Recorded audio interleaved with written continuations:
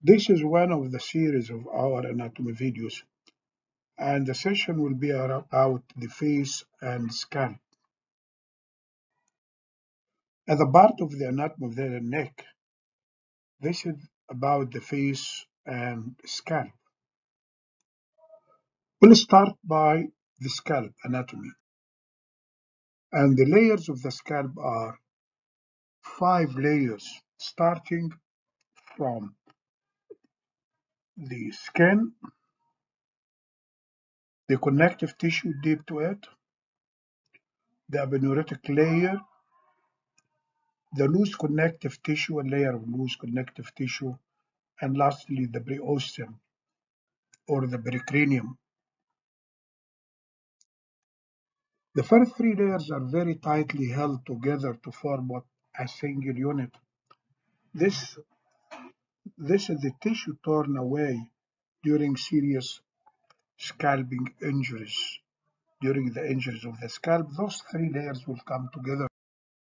So starting by the skin, it is a thick, hairy, with numerous sebaceous glands. Obstruction of these sebaceous glands usually ends up by forming what we call sebaceous cysts. Those cysts usually move with the scalp.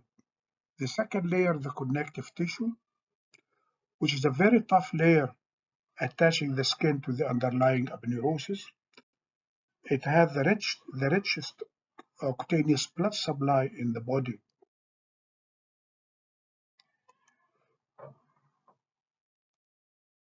The third layer is the aponeurotic layer, which is the thin tendinous sheet that unites the frontal and the occipital bellies to form what we call the occipitofrontalis muscle and attached laterally to the temporal fascia.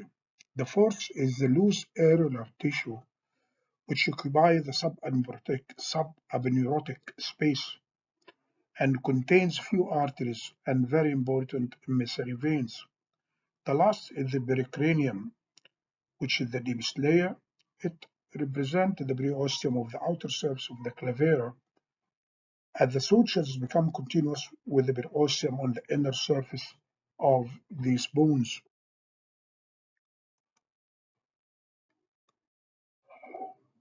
The muscle of the occipitofrontalis muscle, muscle of the scalp, is formed of two pillars, the occipitalis, which arise from the highest nuchal line and superiorly to be inserted to the epicranial aponeurosis. That is the epicranial aponeurosis here. The frontalis, which is the anterior one, arises from that part of the epicranial aponeurosis, this one here, to be inserted in the skin over the eyebrows. The action, it is a muscle of surprise, muscle of, of expression, surprise or horror. The blood supply of the scalp will come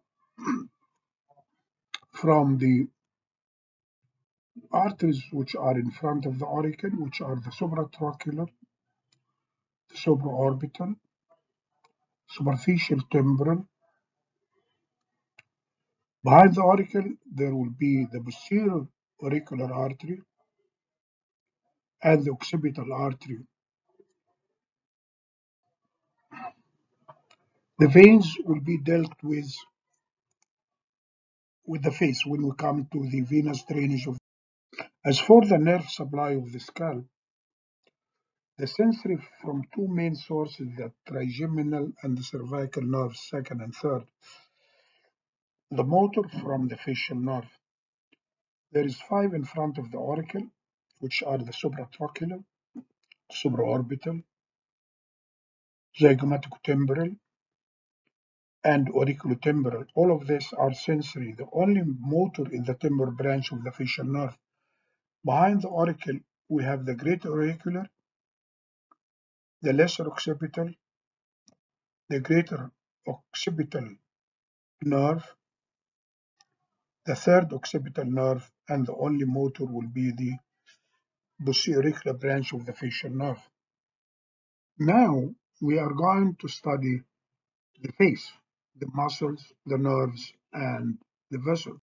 Uh, the facial muscles, they are flat muscles connected to the dermis of the skin to be muscles of expression.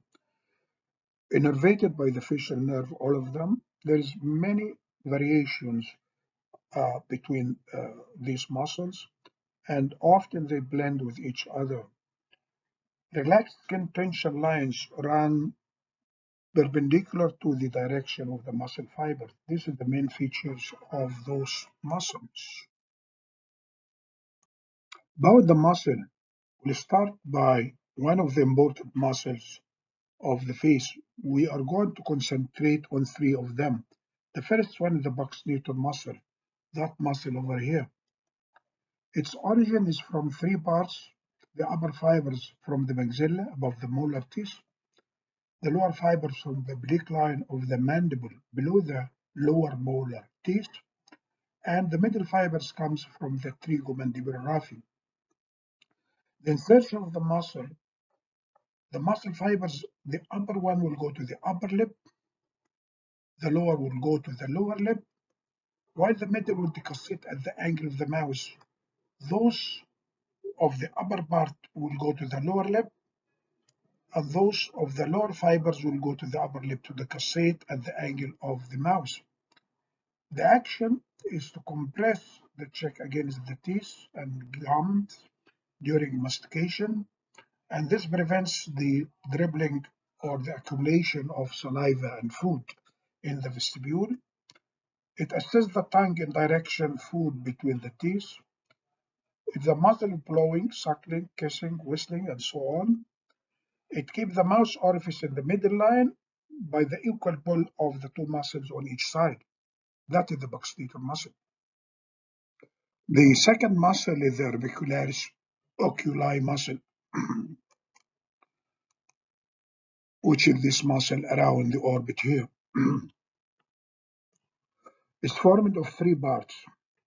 An orbital part, the circle here, and this arises from the nasal side of the frontal bone and the frontal process of the maxilla with the medial palpebral ligament. The fibers forms a complete circle as we can see here to come back with no bone attachment on the lateral side to come back to the same parts of the origin. The action is forced closure of the eye. the second part is the palpebral part, the one in the upper and the lower eyelids. and those arise from the medial palpebral ligament with the bone immediately close to them. the fibers will go across and ends in the lateral palpebral raphe. The action is gentle closure of the eye.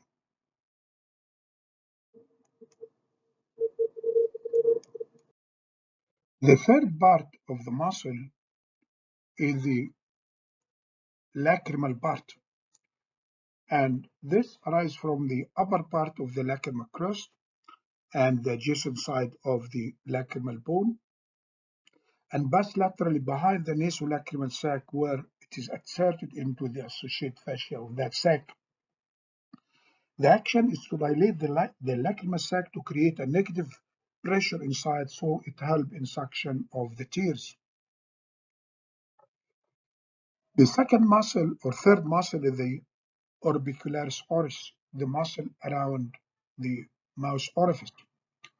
And this arises from the tissues around the mouth and mainly continuation of the fibers of the buccal muscle. It blends with that and it's formed part of that muscle, the orbicularis oris. It helps in shaping of the lips as during speech.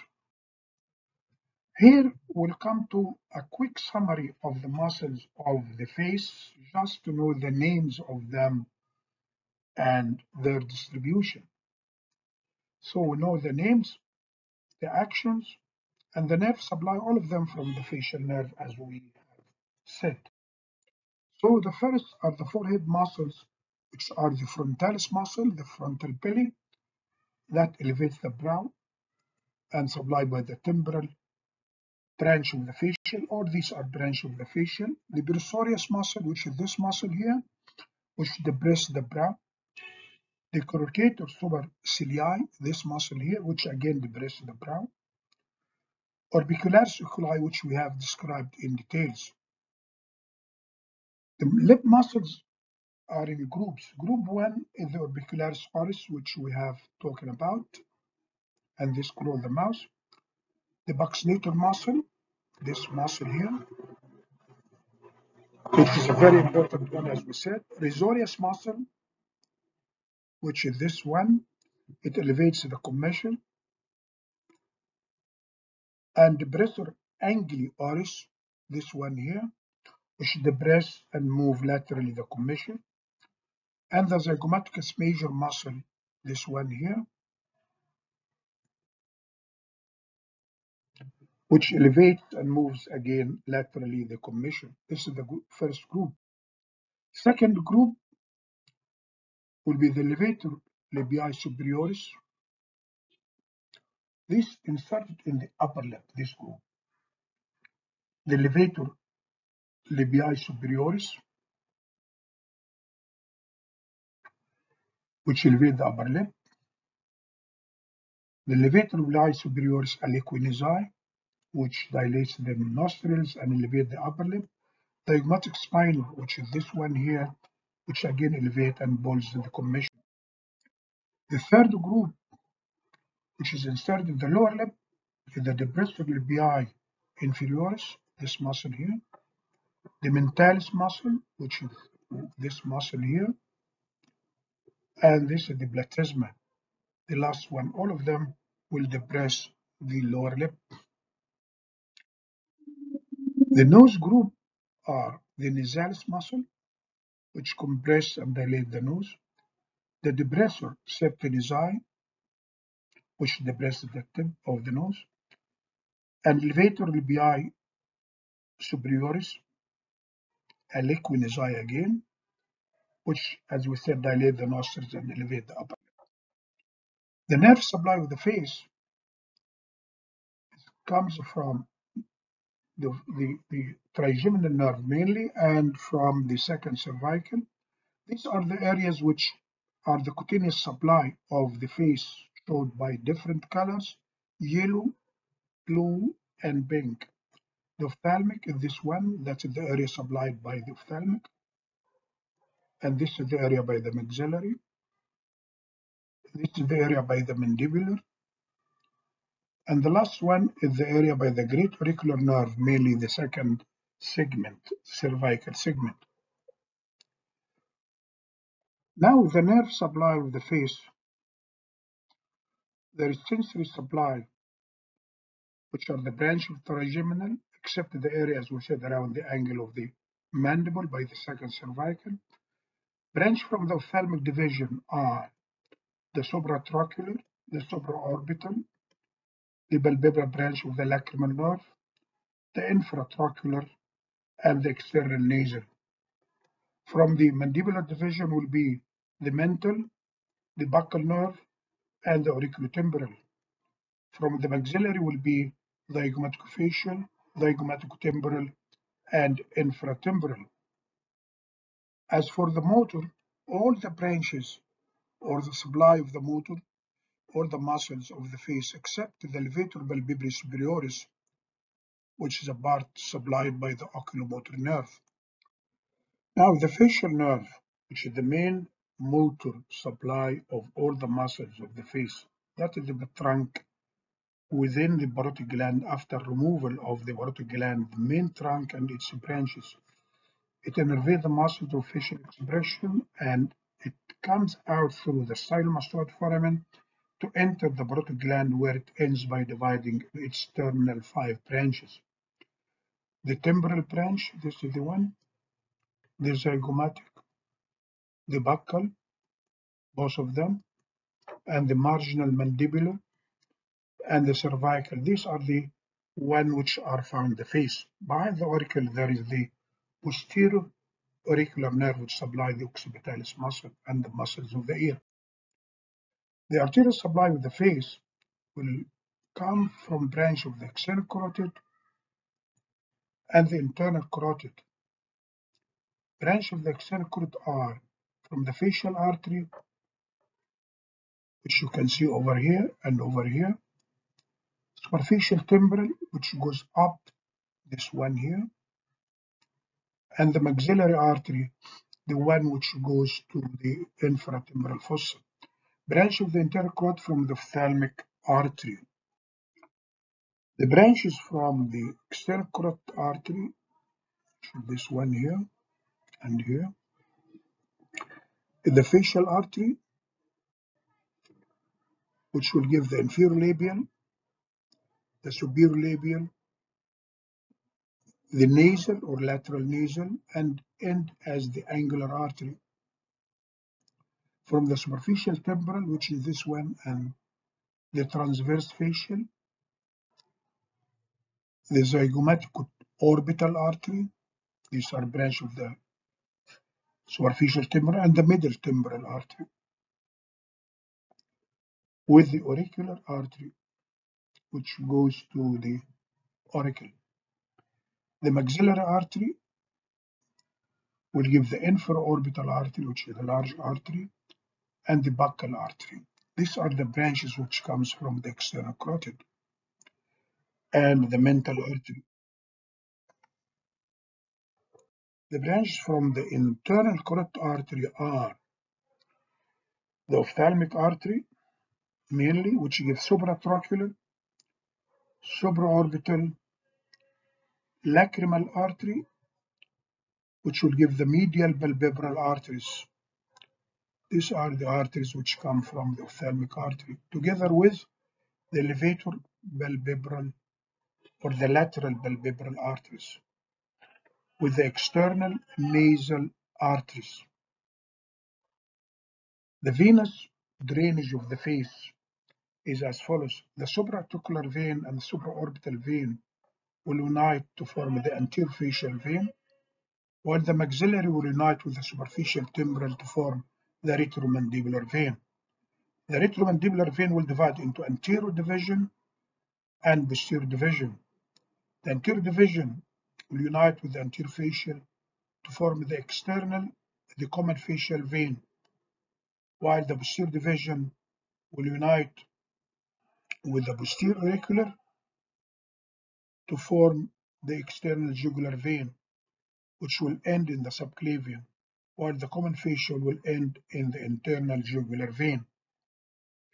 That is a cadaveric picture for those veins which show that is the sternocleidomastoid muscle, the external acoustic meatus is here, that is the masseter muscle, that is the deep part of the parotid gland. So this is the superficial temporal vein, and this is the maxillary vein uniting to form the retromandibular, which is divided into anterior division to join the facial nerve forming the common facial, while the posterior division, the posterior auricular, will join the posterior, uh, posterior division to form the external jugular vein.